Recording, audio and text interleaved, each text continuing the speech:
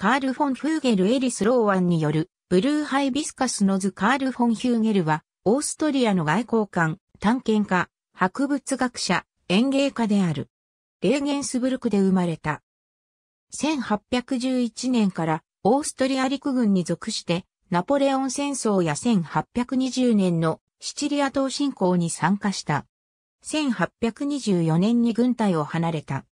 1830年から1836年の間、アジア、オーストラリアの植物採集、宗教の歴史、民族学資料を集める探検を組織し、ヒマラヤやカシミール、オーストラリアを訪れた。ウィーン郊外のハヤットシングに植物園を作り、オーストラリアから運んだ植物を栽培し有名になった。1848年3月、ウィーンでの革命により、最小クレメンス・メッテルニヒと共に、イギリスに亡命した。革命が収束すると、皇帝フランツ・ヨーゼフ一世の命によって、トスカーナ大公国やブリュッセルの大使を務めた。